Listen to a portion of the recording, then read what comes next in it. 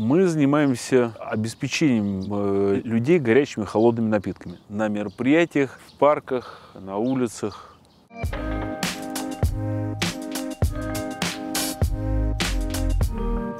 В 2011 году, когда мне пришла идея создания этих кофеин, она базировалась на том, что я до этого занимался другим бизнесом строительным, я ничего не понимал в торговле. И не понимал, э, по какому принципу выбирать места, какие локации хорошие, какие плохие. Я не хотел платить арендную плату, потому что понимал, что арендные платы огромные в Москве, и, скорее всего, они будут э, сжирать бизнес в какой-то форме. И мне пришла случайно абсолютно идея сделать э, кофейни, которые давали мне право на ошибку в выборе места. Я мог приехать, уехать, попробовать тут, попробовать в другом месте. И позволяли, как мне казалось, в то время не платить арендную плату. И я слетал в Киев, посмотрел, как это работает. Там, там это работало на очень таком примитивном уровне.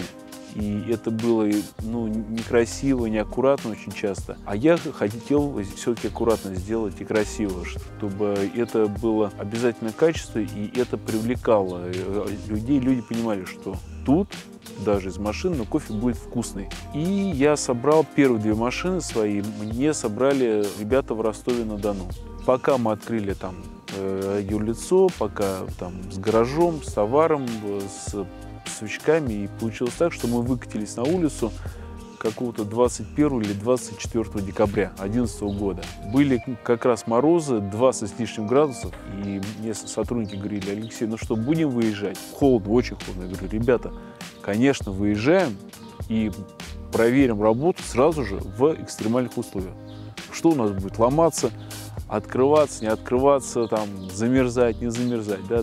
Давайте, выезжаем. Выехали, встали, полдня мы, мы стояли, люди мимо нас проходили, смотрели, но не подходил никто. И я понял, что лю люди просто боятся, люди не понимают. И мы стали просто угощать людей, всех подряд. Потом, значит, появилась следующая проблема, что люди стали узнать, что есть кофе, но в их понимании было, что кофе с машины должно быть очень дешевое. И многие подходили и говорили, а у вас три в одном есть? Мы говорим, у нас, вот смотрите, у нас тут профессиональная кофемашина, она вся блестящая, она уникальная. В России вообще больше таких нет машин. Попробуйте кофе. Они говорят, да, вкусно. И постепенно вот мы стали приучать людей. До 2014-2015 года конкуренции не было вообще. Хороший старт моему бизнесу дали митинги, которые были вот на Болотной площади, потому что мы были единственной компанией, которую пустили работать на Болотную площадь на митинг. Мы были полностью автономны, нам не требовалось электричество. Мы разместились в тех локациях, где не было электричества. У нас были бумажные стаканы, не травмоопасные, ими не зашибешь. И те люди, которые прошли там с демонстрации, вышли на митинг, они были, конечно, очень замерзшие, и им любой напиток горячий был просто в радость. Машина укомплектована профессиональной рожковой кофемашиной, профессиональной кофемолкой, системой аккумуляторов, которые подзаряжают и питают все оборудование. Машина укомплектована мебелью и ящиками, в которых хранятся отдельно продукция, стаканы, сиропы, ну, вот ингредиенты все. В машине работает один сотрудник, он и водитель, и бариста. Он приезжает и сам работает на машине. Обучение сотрудника занимает два дня обучения и экзамен на третий день. Чтобы сегодня начать э, бизнес мобильной кофейни, надо порядка 770-800 тысяч рублей. Оборудование машины вместе с машиной порядка 525 тысяч рублей. Это хорошая бушная машина до трех лет и переоборудование этой машины. Аренда места на два месяца с запасом 60 тысяч рублей. Аренда гаража на два месяца 12 тысяч рублей. Закупка сырья на первое время 50 тысяч рублей. Фот на два месяца 120 тысяч рублей. Оформление ИП и открытие расчетного счета порядка 5 тысяч рублей. Вложение на рекламу мы не делали и не требуется. Сейчас масса сайтов конструкторов, которые можно собрать самое быстро. Группы в ВКонтакте, в Фейсбуке делают со своими силами бесплатно. Ну и плюс сарафанное радио. Главный наш покупатель – это, собственно говоря, э, два типа покупателей – Это молодежь, которые по каким-то причинам не хотят пить пиво. Кофе это, все-таки вкусный и модный. есть тренд на моду, что вот э, со стаканом кофе. Второй тип наших постоянных покупателей – это мамы с детьми с маленькими, которые гуляют каждый день, которым хочется получить какую-то вкусняшку каждый день. Для них это такая маленькая цель – выйти и пойти за кофе. Пик продаж – это конец апреля-май. Люди истосковались по солнышку, выходят на улицу и радуются всему. А самые Низкие – это ноябрь-декабрь, когда люди уже нагулялись, и им неохота ни под каким соусом гулять практически.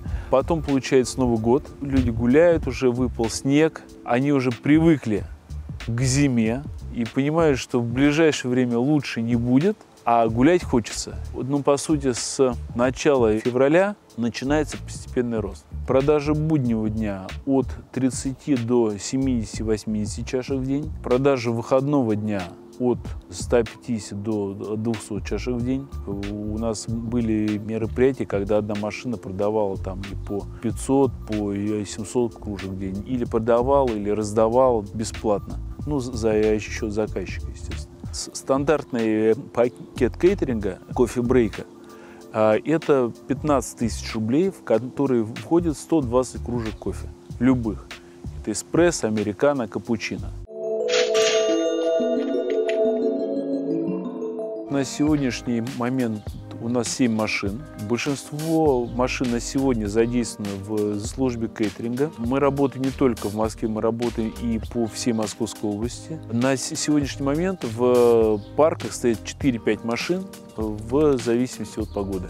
Всегда одна машина в резерве на случай поломки, ремонта, еще что-то. Задействовано порядка 15 человек, из которых 10 человек бариста и 5 человек – это управляющие, снабжение, бухгалтерия, те, кто ремонтирует машины. У наших машин у всех есть сам паспорта. Они проходят где-то обработку в центрах. Сотрудники имеют медкнижки обязательно у нас и, делаются прививки, и когда они выезжают, их проверяют, что они не были пьяные, еще какие-то, еще какие-то. Это вот обязательные требования.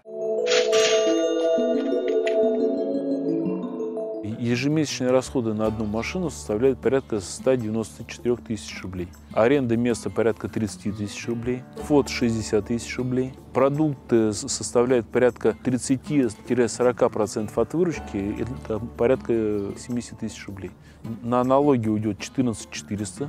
Гараж в месяц 6,5 тысяч рублей. Бензин около 8 тысяч рублей. И регламентные работы и техобслуживание машины порядка 5 тысяч рублей. Выручка с одной машины составляет 250-260 тысяч рублей в среднем. Прибыль получается порядка 60 тысяч рублей. Общая выручка компании – миллион восемьсот двадцать в месяц. Прибыль составляет около 460 тысяч. За этой прибыли платится зарплата управляющему, платится зарплата службы снабжения, бухгалтерия оплачивается и оплачиваются э, расходы по складу и по логистике. Наиболее ходовой напиток – это капучино стоимостью 150 рублей.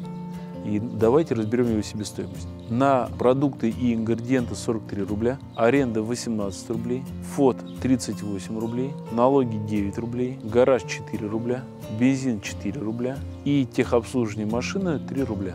Таким образом, себестоимость чашки капучино составляет 119 рублей. И итоговая наценка у нас получается 31 рубль. На сегодняшний момент в планах э, развития это служба кейтеринга, дальнейшее развитие. Это франчайзинг сети в регионы. Я знаю, что мобильные кофейни востребованы очень в других городах. И к нам часто обращаются с просьбой или франшизы, или э, научить, или просто бизнес поставить им правильно, да, чтобы сотрудники не воровали, чтобы логистика была правильной, чтобы закупки шли по оптимальным ценам, чтобы учет был и контроль. И это так получилось исторически, когда был период активного роста, то вот мы делали 7 машин, и как-то структура под них сложилась. И нам на сегодняшний момент хватает и заказов, и всего именно под это количество машин.